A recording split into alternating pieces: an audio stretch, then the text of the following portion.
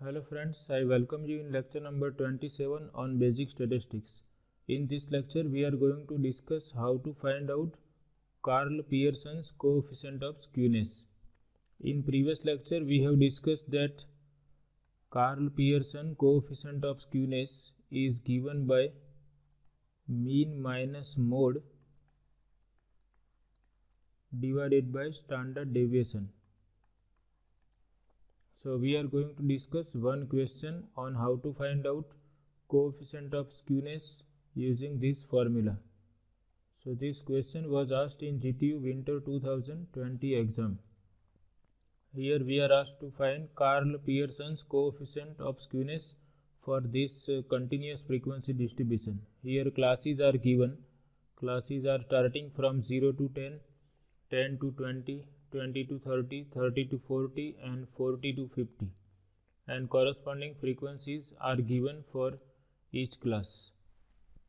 So as we know for this formula we have to calculate mean of this continuous frequency distribution we have to find mode as well as standard deviation for this frequency distribution. So to find out mean we know that formula for mean is mu equal to sigma f into x divided by capital N where capital N is nothing but sum of all the frequencies. And here classes are given. So this x is considered as mid value for each of these classes.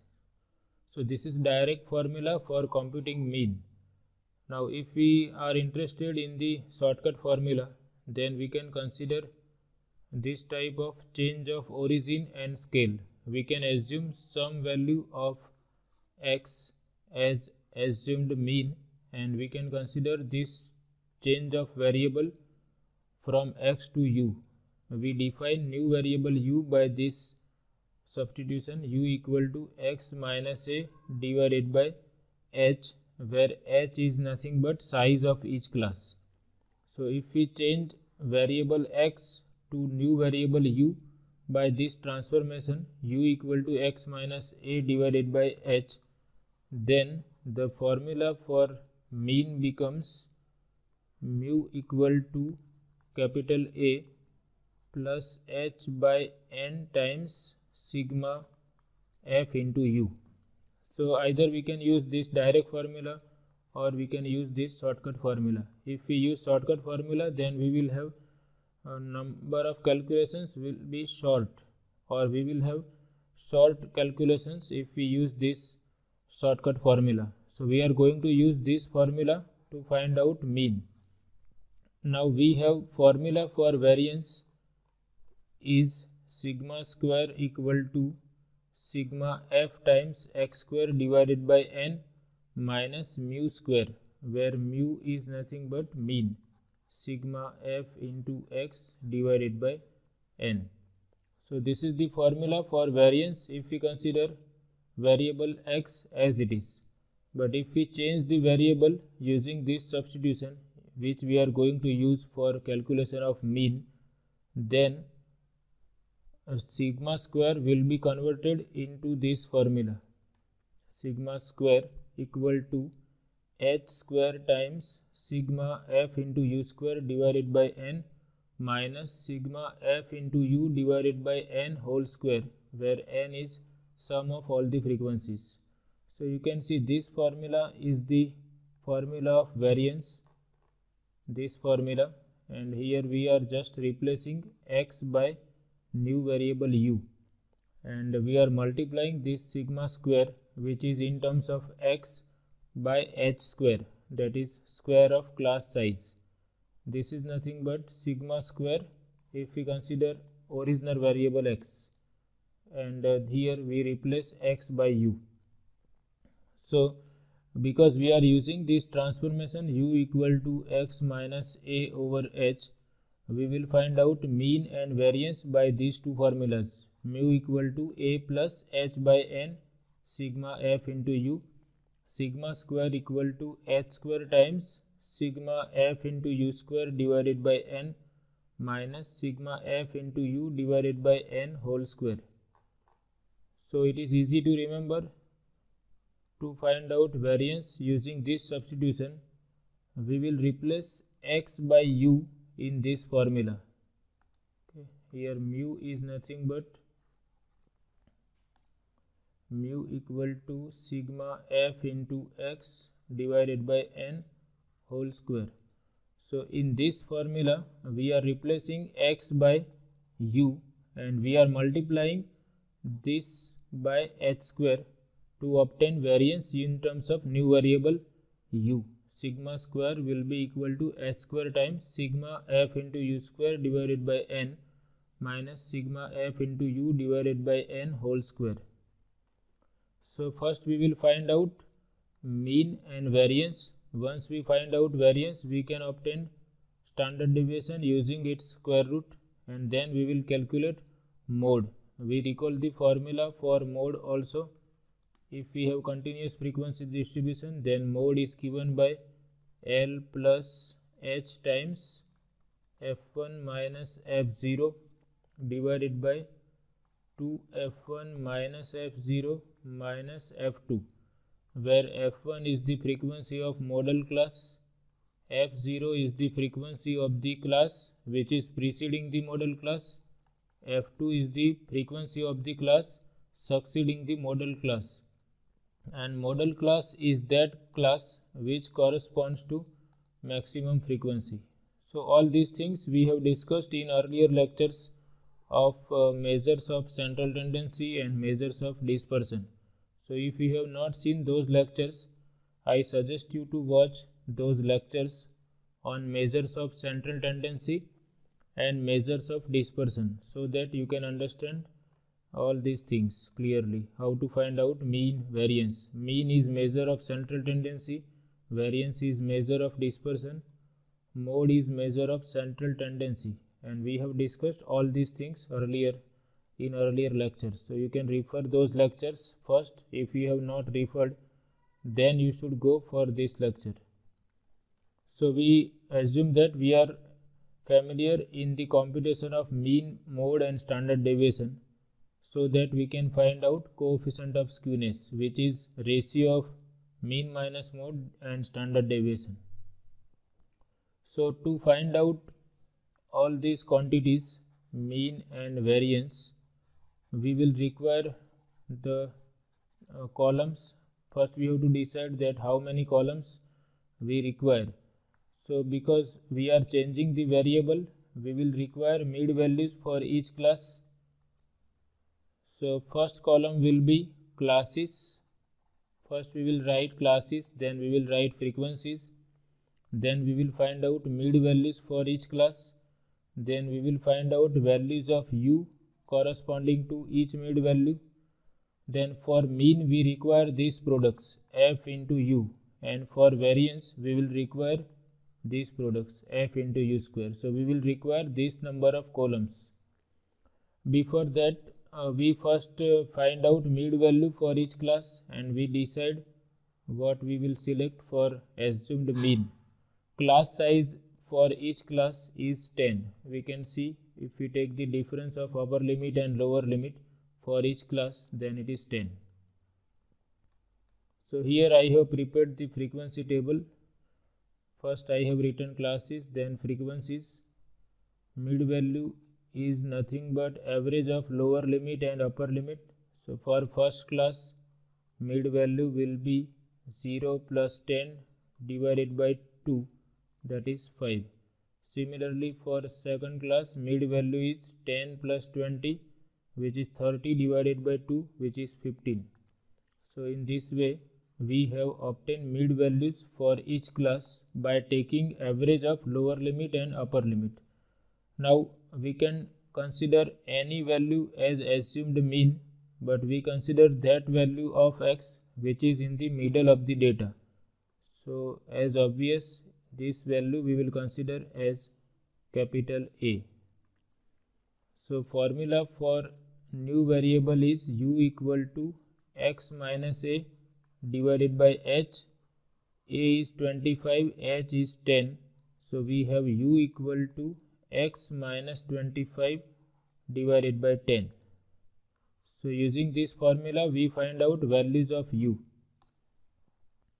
so if we start by taking x equal to 5 here we will have 5 minus 25 that is minus 20 divided by 10 it is minus 2 similarly for x equal to 15 we have 15 minus 25 that is minus 10 divided by 10 which is minus 1 for x equal to 25 u will be 0 25 minus 25 for x equal to 35 u will be equal to 35 minus 25 that is 10 divided by 10 which is 1 and for u equal to 45 u will for x equal to 45 u will be 45 minus 25 that is 20 divided by 10 which is 2 then we multiply each value of u by frequencies and we will obtain these products f times u. So 13 into minus 2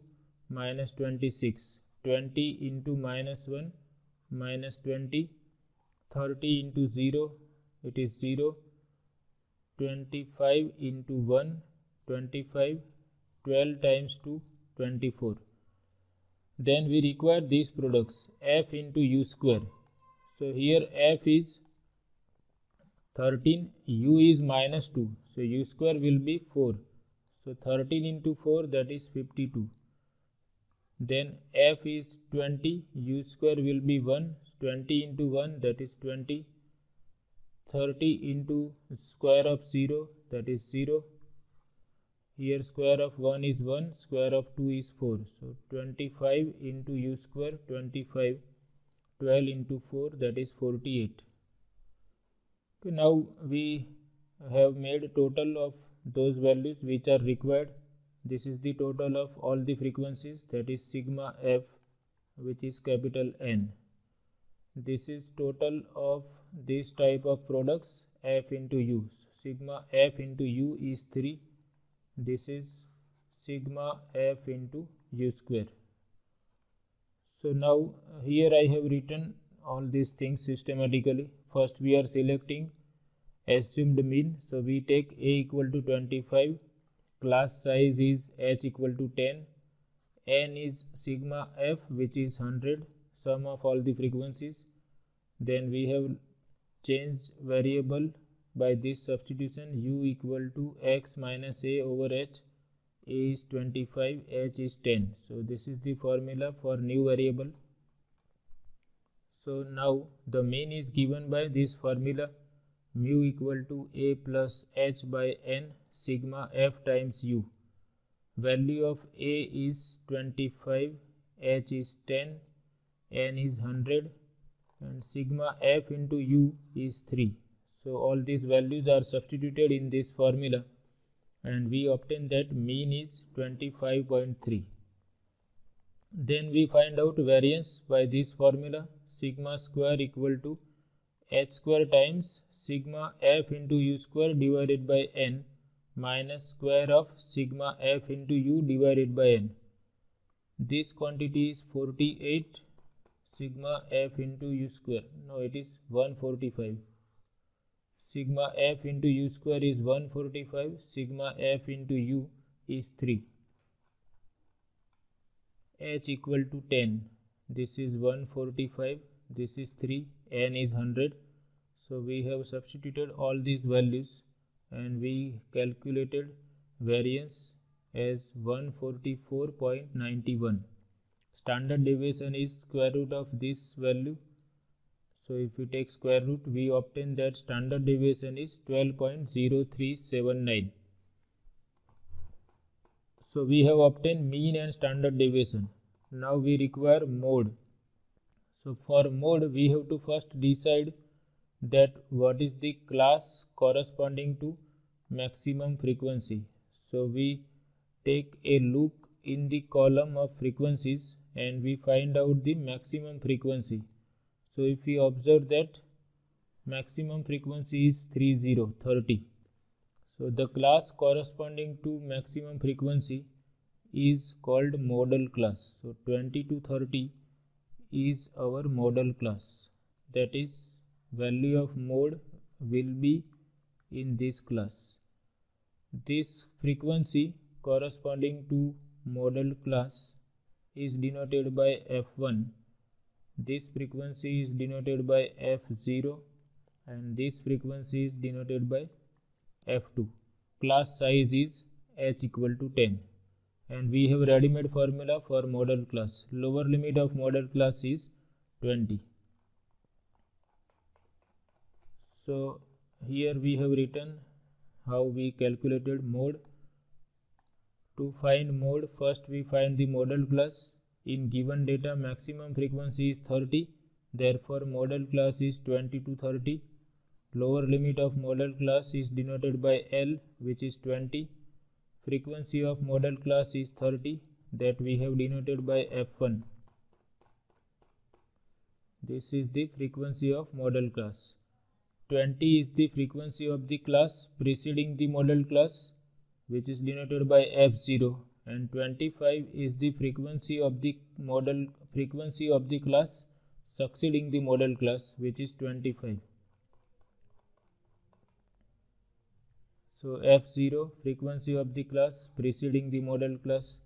F2 frequency of the class succeeding the model class which is 25 h equal to 10 and we have ready-made formula for mode of a continuous frequency distribution.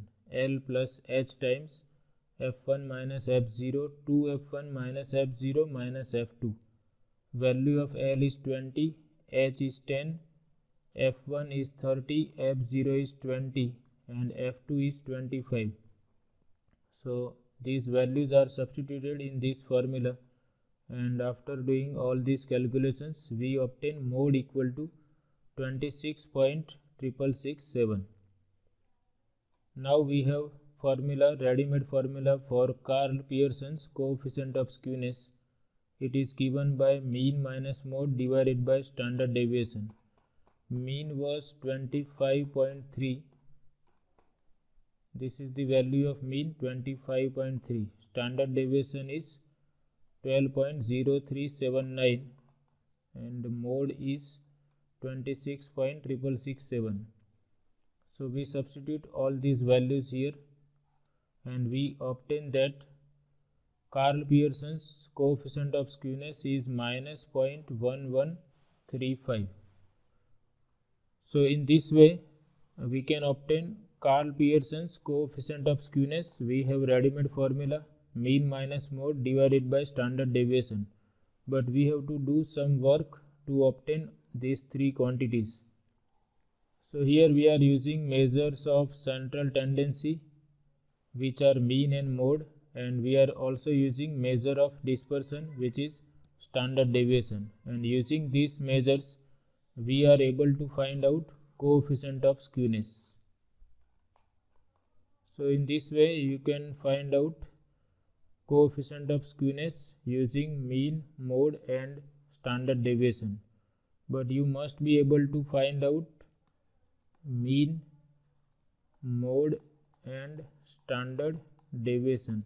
If you are able to calculate this or you must be able to find out these things using direct method or shortcut methods. So this is all about this session i hope you like it. Thank you very much